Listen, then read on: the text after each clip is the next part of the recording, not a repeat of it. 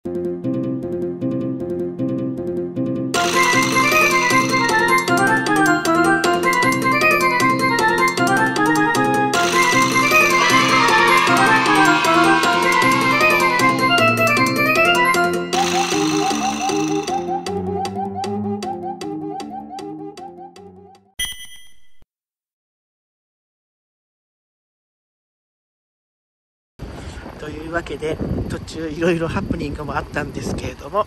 無事に駿河湾沼津まで来ました。ちょっとハプニングの部分はねちょっとあのハプニングすぎて映像撮ってないんですけどとりあえず沼津まで着いたんで今日はここでね車中泊でもして行こうと思います。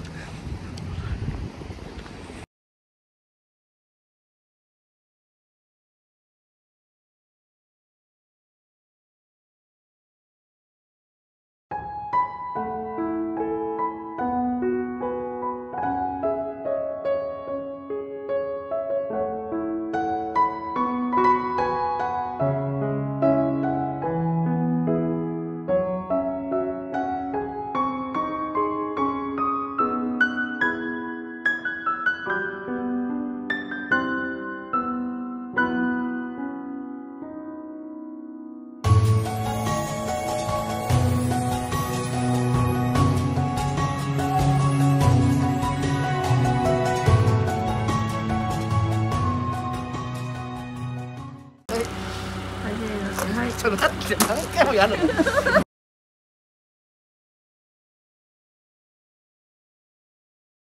？you